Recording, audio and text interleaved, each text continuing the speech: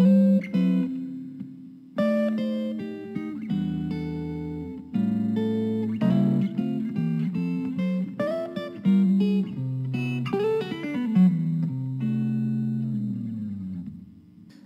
this screencast, I'd like to discuss interaction effects, modeling interaction effects in multiple regression. Multiple regression, uh, in, in, its basic guise, its basic uh, personality, is a linear additive technique.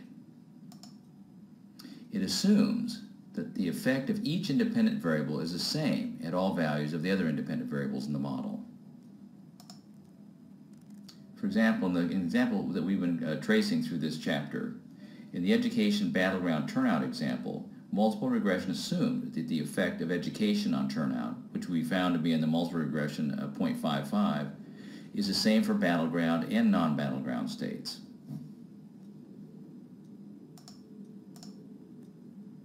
That's fine if you have an, if you had an, uh, an additive uh, set of relationships or if you're trying to uh, ferret out spurious relationships. But if the effect of one independent variable on the dependent variable depends on the value of another independent variable, then you have interaction going on and you have to figure out how to model it and accommodate that effect in the regression model. In multiple regression, we refer to interaction effects. An interaction effect occurs when the effect of an independent variable cannot be fairly summarized by a single partial effect. Instead, the effect varies depending on the value of another independent variable in the model. Now let's introduce a new example. This is survey data. I believe this is the American National Election Study. Uh, think of a dependent variable uh, measuring abortion opinions among a large group of respondents. The scale scores range from zero, this would be uh, a respondent took the most anti-abortion position, to nine, the most pro-abortion position. And so we're going to calculate mean values of this, this dependent. And we're going to examine uh, the effect of party identification on these mean values. Independent variables party identification, it'll take on three values, Democrat, Independent, and Republican. The control variable here is political knowledge. Uh, this is going to be uh, eventually modeled as a dummy, but it takes on two values. Respondents either are classified as having low politi political knowledge or high political knowledge. Let's look at a familiar friend first. This is uh, a mean comparison analysis of this problem. Mean pro-choice scores by partisanship controlling for political knowledge. Let's look at the effect of partisanship among low knowledge respondents. Uh, low knowledge Democrats scored 4.3 on this scale. Uh, it, it does go down, goes down to 3.7 among independents and down to 2.9 among Republicans. So if you were just summarizing the effect of partisanship for, for low knowledge respondents, you would say, well, the scale drops 1.4 points across the range of the independent variable. You know, is it just going in the hypothesized direction? Yes. Is it, a, is it a noticeable effect? Yes, it is. But let's compare that effect to the effect of partisanship among high knowledge respondents. Uh, here, high knowledge Democrats are at 5.7 on this scale, drops to 4.6 among independents, and then to 2.8 among Republicans. So the effect here is twice as strong than it is among low knowledge respondents. So among high respondents, high knowledge respondents, the, the effect of partisanship is point, uh, 2.9. There's a drop of 2.9 points across the values of, of partisanship. Uh, you might also notice uh, that the effect of knowledge for Democrats is rather pronounced. Uh, Democrats go from no, low knowledge to high knowledge. Their uh, scale scores go from 4.3 to 5.7, uh, over a point and a half, about a point and a half increase here. if you look down here at Republicans, the effect of knowledge is, is virtually nothing, 2.9 to 2.8. So the effect of knowledge depends on partisanship, and the effect of partisanship depends on knowledge. We have a lot of interaction going on in this, in this data. Here it is graphically. This really tells the story, doesn't it? Here's that low knowledge line dropping about what, what 1.4 or so across values of partisanship. And here's a much more steeply raked uh, line among high knowledge respondents. So it's almost like uh, when you reach into the data and, and, switch knowledge from low to high, the relationship really uh, becomes very well behaved and, and becomes quite a bit stronger. Let's figure out how to model this in regression. Now, here's the formal model. Y hat's going to be, of course, the uh, estimate of, of, abortion opinions. Uh, let, us look first, in fact, let's look first at how these variables are coded. That'll give us a clue as to how they're going to behave when we, uh, when we manipulate their values. Uh, y hat, of course, is the estimated pro-choice uh, scale score.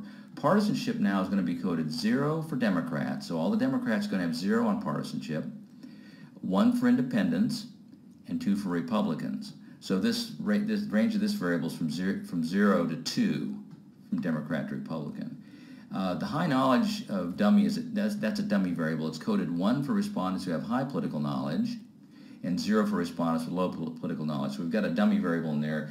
And it, when you when you model interaction, I've discovered it's always a helpful idea to have your variables scaled to zero because if, like the Democrats are zero, we know certain terms in the model are going to drop out uh, and it makes it easier to interpret the coefficients.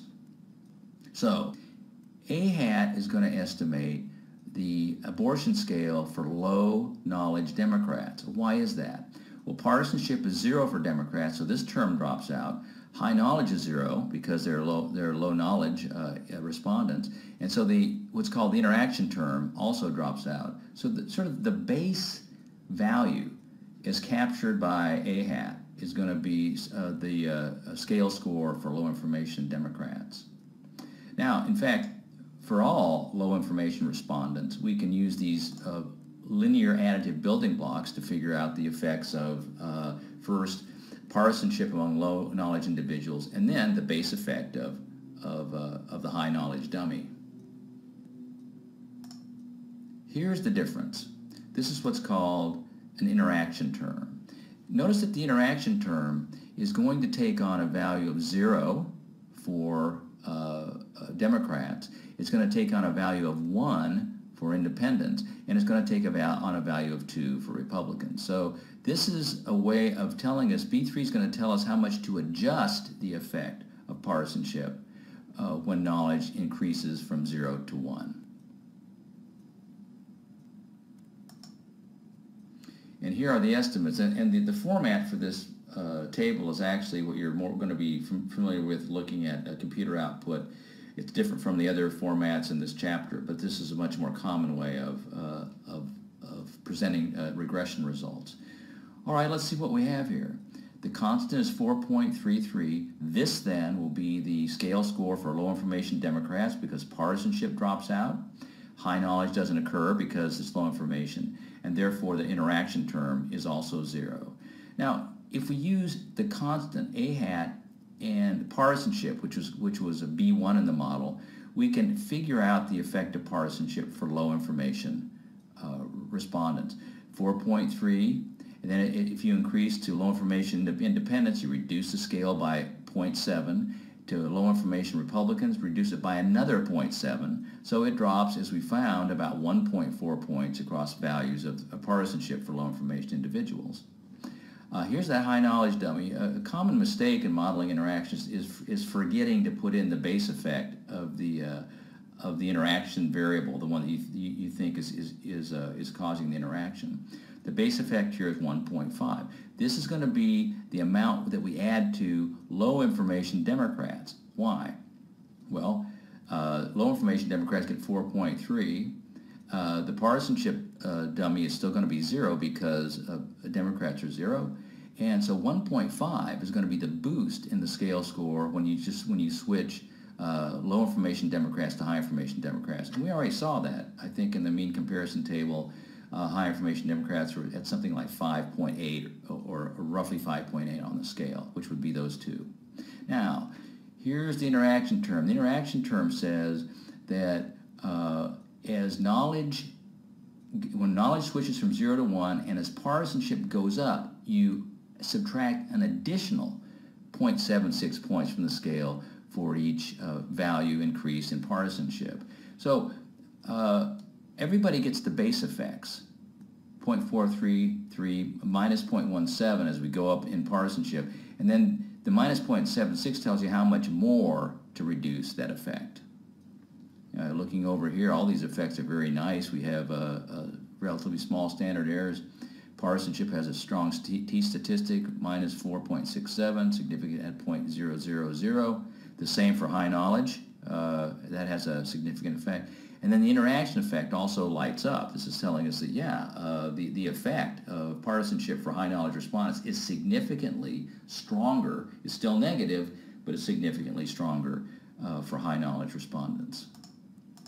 Just to repeat, you, you use A hat and B 1 hat to estimate the effect of partisanship for low knowledge respondents. B 1 hat says to subtract 0.7 for each one unit increase in party, or minus 0.1, I'm sorry, yeah, minus 1.4 across the, the, the, full range of party. So you subtract 0.7 as you go from Democrats to, to independents, another 0.7 when you go to, uh, to Republicans. So uh, regression linearizes these differences. Use the base effect of knowledge, B2 hat, and the interaction term, B3 hat, to adjust the base estimates for high knowledge respondents.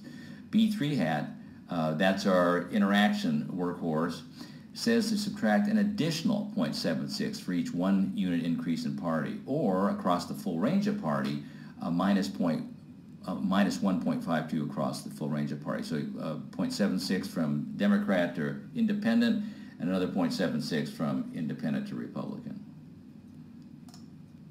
High knowledge respondents get the base effect, okay, so that we already know that uh, uh, partisanship is having an effect among low knowledge, plus the interaction effect, which is another minus 1.52.